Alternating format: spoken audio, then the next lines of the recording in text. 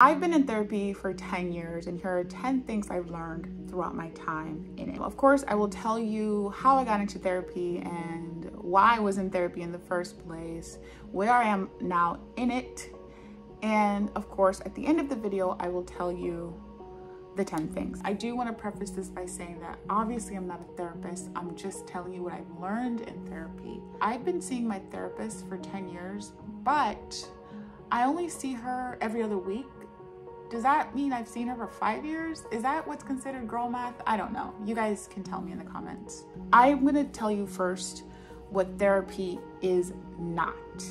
I feel like a lot of people these days misuse the word therapy. They have a notion in their heads about what therapy is and isn't. I get a lot of opinions on what people think therapy is from people that's never been in therapy. And it's very weird.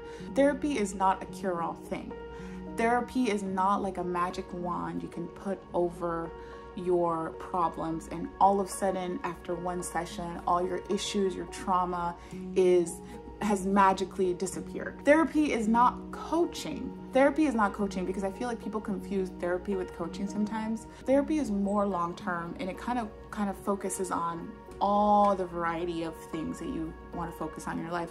Coaching is very specific to your needs at the time. For me, I would like coaching on a career. Like, so I would probably hire a, a career coach to tell me how to navigate getting a career. If I'm looking for something that has to do with relationships, I will ask a relationship coach.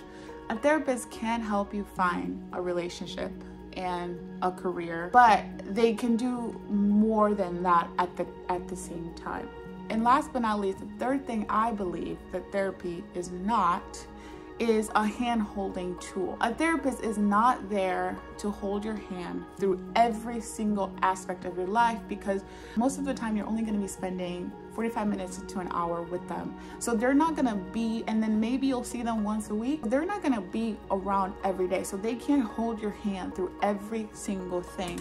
You come to them with a problem and they will help you with a specific problem that you may or may not have. I think that therapy is more about guiding you through your life's difficulties and any sort of questions or confusions that you might have about anything that's happening in your life.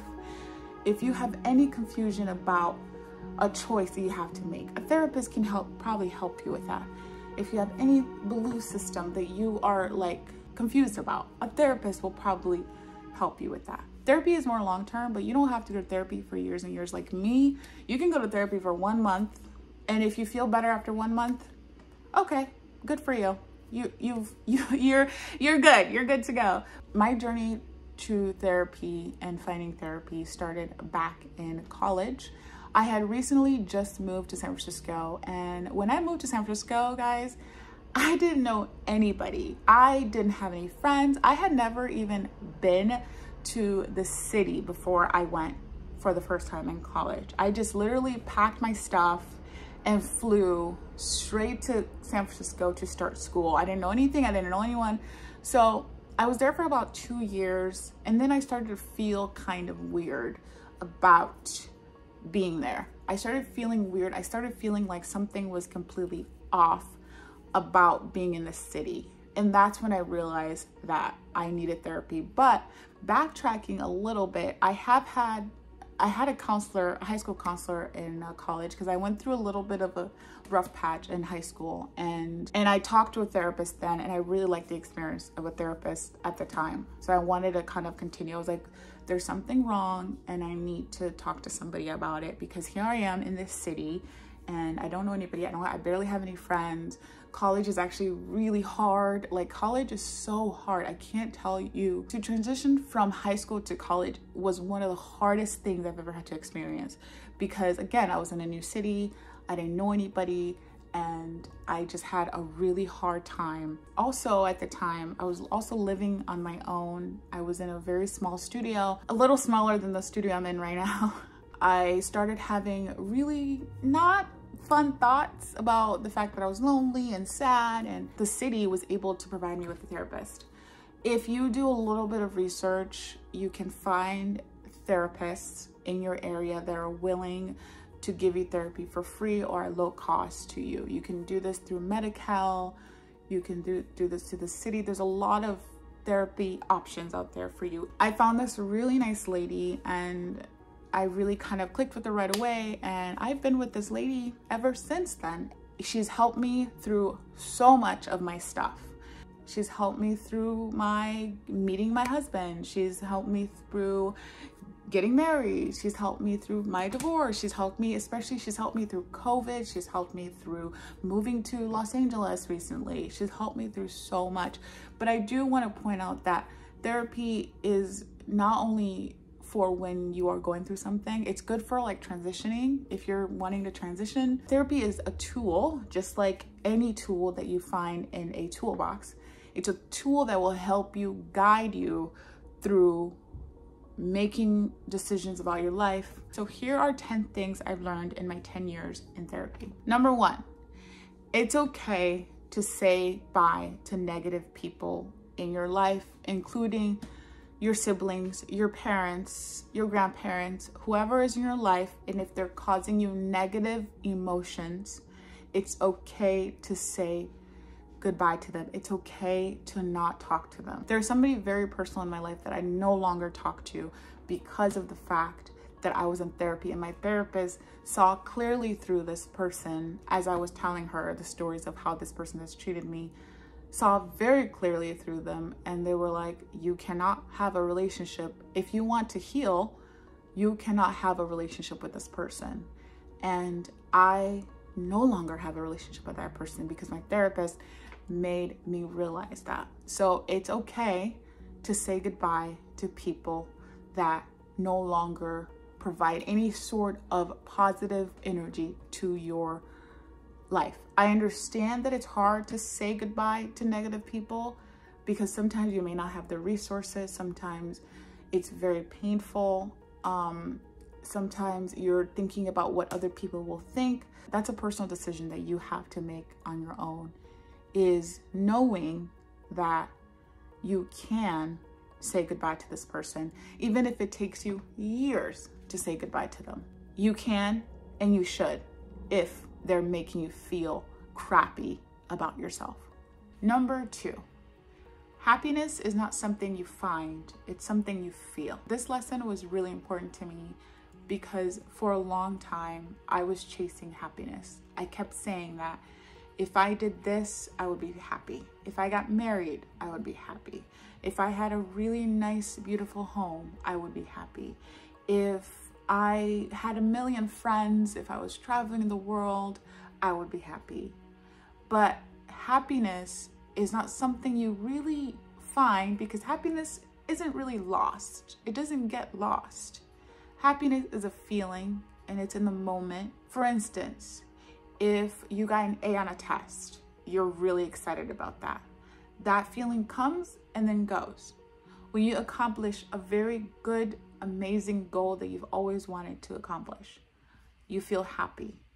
Again, with the Beyonce concert, when you go to a Beyonce concert, you are elated because that concert was the best concert of my life. Happiness is a feeling because if you try to chase it and try to find it, you will be searching for it for a very long time and you will never find it. It's the best to appreciate your happiness in the moment versus thinking that as soon as you do something, as soon as you make this big decision, you're gonna be happy. Yeah, you're gonna be happy in the moment and then it's gonna go away. Just like with anger, just like with frustration, just like with sadness, it comes and goes. Number three, depression, anxiety are two sides of the same coin. Whatever you're feeling depressed about, you'll probably feel anxious about. Even though depression or and anxiety are two different feelings, they're stemming from the same trauma or the same problem that you might be having. For me, in my in my realizing the difference between depression and anxiety is the fact that my anxiety makes me afraid of things. I'm afraid of getting on a flight to fly.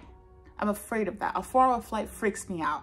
But depression makes me not want to get up and do things and exercise and cook. Those two issues come from the same thing, my trauma and my um, ability my inability to cope with whatever is going on at the time. Number four, everyone has trauma, no matter how big or small your trauma is.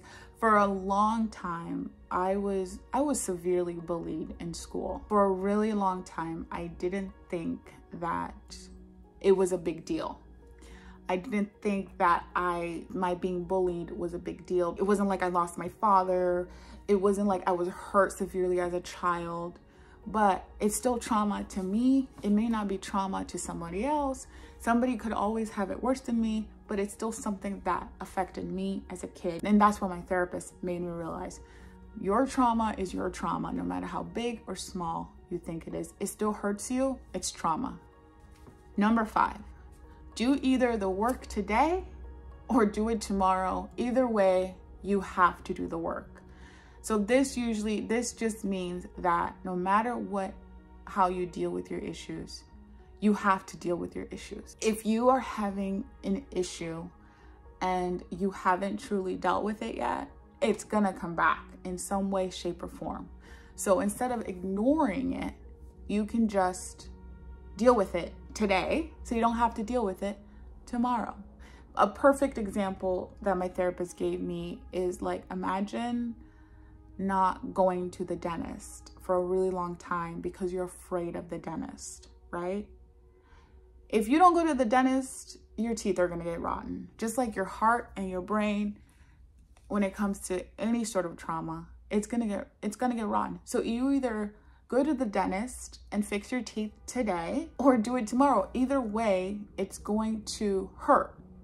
So just do it as soon as possible so it doesn't hurt even more. Number six, focus on yourself and what helps you out. This lesson sounds very selfish, but I think it makes sense because you can only literally control what you can do for yourself. You can't control what people say. You can't control what people um, are saying about you that you guys for me in that video that you guys all saw I there's a lot of not so nice comments in the video. I will admit it. There's not it's not fun to hear to to have net people say negative things about me. It's not fun for me. But the way I deal with that is by turning off the computer going for a walk. So I can only control that part of myself. I can only control how it affects me as a person. I can't control what these people are saying about me in my comment in that video. This is number seven and it's a very interesting one. It has to do with romance and relationships. I, when I first met my ex-husband, I fell for his potential. I felt for his, what he was going to be, right? Not what he was in the moment. So this lesson is, if you're falling in love, do not fall for potential fall for what they are now because at the end of the day, they're probably not going to change that much. So whatever you think of them in your head is probably not going to come true.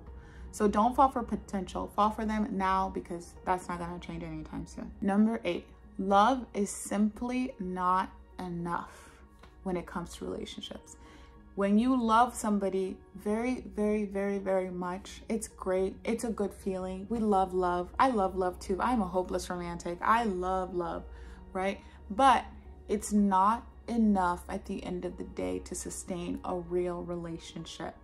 It's not enough. You have to have other forms of your expression of somebody else. And one of those keys of expression is communication. You have to communicate what exactly you want in your partner. I'm not trying to be a relationship expert. I'm not trying to give you relationship advice here, but that's one of the things I learned in therapy when it comes to dealing with my ex is that I thought I loved him so much, but then I learned throughout therapy that love loving and falling in love with somebody is not enough. What you need is communication, and what you need is constantly connecting with the person over and over again and telling them exactly how you feel and not hiding your emotions. Number nine, it's okay to not like the holidays. The holidays are coming up, and to be completely honest with you all, I dread it every season simply because of the fact that I am single and I am by myself. And unfortunately, this year I'm not able to go home. um, because I simply can't afford to go home this year. But I dread it. But the thing is, it's okay to not like it. Even if you do have the ability to go home, but you're dreading it, it's okay to feel that way. It's okay to dread it because some holidays bring up a lot of trauma for a lot of people. It's very stressful because sometimes you don't want to give gifts. Sometimes you don't want to spend your money. Sometimes you don't want to see people that stress you out all the time. You don't want to sit around the dinner table and talk about politics and racism and in and just overall all the bad things in the world. You don't want to hear other people's opinion. It's okay to dread the holidays. It's okay to feel that way because the holidays are not Disney Channel movies. They're not fun for everybody. And it's not these Hallmark movies, it's not these Hallmark cars that you see every day. And it's okay to dislike it. Number 10 I think we all kind of know this one. It's focusing on the now and not the future. One of the biggest examples is right now with my YouTube thing going off is I was thinking about a lot of the future. I was thinking about what this is gonna mean to me, what's gonna happen, how is the world seeing me. I was thinking a lot about it, but I was talking to my therapist and she said, why are you thinking about that? focus on making your videos right now and think about everything else when they come. So focus on the now because tomorrow will be there. You will not know what to do. So focus on the now. Therapy is something that is super, super important to me. And it's been my um, way of coping with a lot of things. Like I said, I've been through a lot. I've transitioned a lot in my life and therapy has done that for me. And I'm so appreciative. A lot of the stuff that I've learned, I've learned, I had to learn in my 20s. When you're in your 20s, you don't really know much. I know a lot of people are probably thinking, oh, you didn't know that stuff? I didn't. I was in my 20s. I didn't know. I didn't know a lot of this stuff until my um, my therapist told me. Um, if you've been in therapy before, please let me know. I'd love to hear your thoughts. I'd love to hear your experience um, and how it's changed your life and what you've learned and maybe how long you've been in it. There's no shame in being in therapy. It's a very helpful tool. And um, I hope to see you in the next video.